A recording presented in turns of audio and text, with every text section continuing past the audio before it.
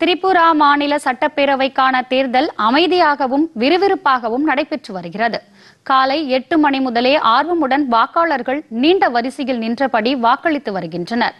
முற்பகல் பதினோரு மணி நிலவரப்படி முப்பத்தி இரண்டு சதவீத வாக்குகள் பதிவானதாக தேர்தல் ஆணையம் தெரிவித்துள்ளது. அறுபது தொகுதிகளை கொண்ட பேரவைக்கான தேர்தலில் இருபத்தி இரண்டு பெண்கள் உள்பட மொத்தம் இருநூற்று ஐம்பத்து ஒன்பது வேட்பாளர்கள் களத்தில் உள்ளனர். இருபத்தி எட்டு லட்சம் வாக்காளர்கள் வாக்களிக்க உள்ளனர். வாக்குப்பதிவு மையங்களில் வாக்குப்பதிவுக்கான ஏற்பாடுகள் தேர்தல் ஆணையத்தால் சிறப்பாக செய்யப்பட்டுள்ளது. முதலமைச்சர் மாணிக் சாகா அதத்தலாவில் உள்ள பள்ளி ஒன்றில் தமது வாக்கை பதிவு செய்தார். முன்னாள் முதலமைச்சர் மாணிக் சர்க்கார் உள்ளிட்டோரும் தங்களது வாக்குகளை அளித்தனர்.